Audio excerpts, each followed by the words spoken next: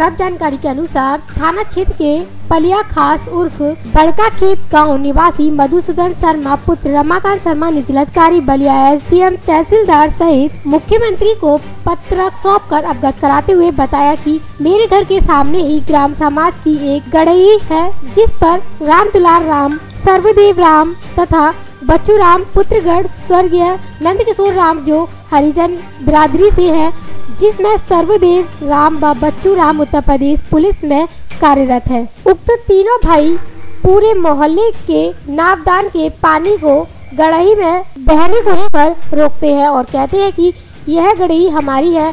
जो भी कोई हस्तक्षेप करेगा, उसे हरिजन एक्ट में फंसाकर जेल के सलाखों के पीछे डलवा दूँगा। तथा कोई भी थाने पर जाकर शिकायत करेगा तो उससे भी निपट लूँगा। तथा यह कहकर धमकी देते हुए कहते हैं कि हम लोग खुद ही पुलिस में है, कोई कुछ नहीं बिगाड़ सकता। अतः श्री शर्मा ने उच्च अधिकारियों का ध्यान आकृष्ट कराते हुए इन समस्याओं से निजात पाने तथा उचित न्याय करने की गुहार लगाई है। बलिया से संजय राय की रिपोर्ट एस न्यूज़।